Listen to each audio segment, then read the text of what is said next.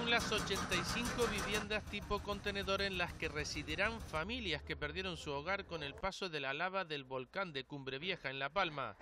El terreno sobre el que se instalan unos 15.000 metros que el Ayuntamiento de Los Llanos cedió al Gobierno de Canarias. El acondicionamiento del terreno, que fue a cargo del, del Ayuntamiento, fue un trabajo pues intenso y complejo, no era fácil eh, acondicionar el terreno.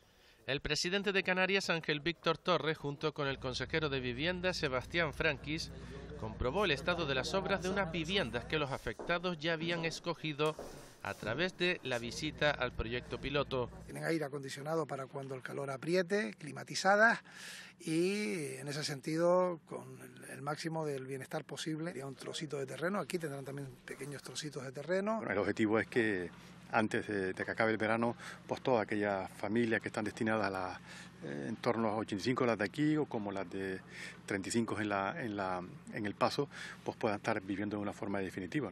La previsión del gobierno canario apunta que en el plazo de un año se hayan entregado unas 600 viviendas a los afectados por el volcán, entre alquileres, pisos, casas modulares o de madera como estas ubicadas en la misma zona y en las que ya residen familias.